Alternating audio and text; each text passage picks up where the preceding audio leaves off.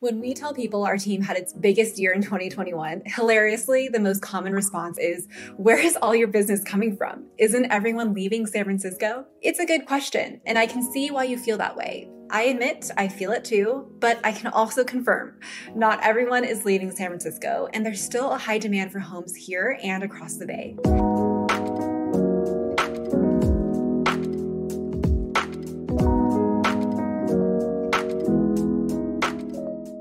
Fact, 2021 SF sales volume was the highest it's been in 16 years. But I know you're curious, so let's take a look at migration stats. Per the California Department of Finance, state population dropped in 2021 for the first time since its founding in 1850. The Bay Area population dropped by 0.6%, almost 53,000 residents in one year, and San Francisco's population dropped by 1.4%. And while around 27,000 households moved in, 68,000 moved out. Where are they moving? Generally speaking, the largest number moved to another Bay Area county, then to an adjacent California county, and finally out of state, with the top states being Washington, Texas, Oregon, Nevada, Arizona, and Colorado. So, if so many people are moving out, where are all these buyers coming from? Why is it still so competitive?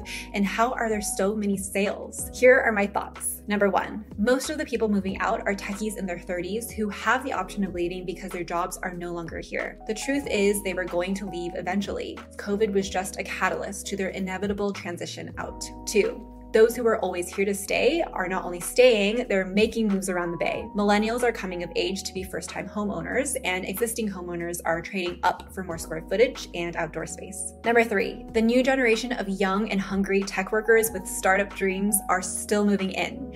And not only are they well paid, but they're also very financially savvy. Finally, it's undeniable San Francisco is still an aspirational place to live, surrounded by Bolinas waves, Mount Tam hikes, Tahoe snow, Napa wine, and deeply rooted in cutting edge innovation, Tony Bennett wasn't the only one with his heart in San Francisco. All right, that's it for this week's episode of Banter with Bran. Are you moving in SF, outside of SF, or even to another state? Let us know. Our team's got you covered and we'd love to hear from you. Until then, see you next time.